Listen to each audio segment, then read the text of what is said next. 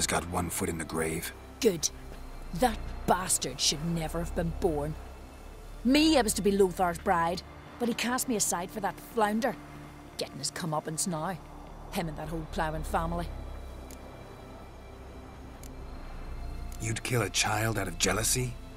Are you serious? Tis not jealousy, but dignity that matters here. Ten years we lived side by side. Ten years. I cooked for him, washed his breeches, shared my bed. And he abandoned me with nary a word. The whole village laughed. Stupid bint Jonna let herself be had. No, I have not been had, nor have I forgot.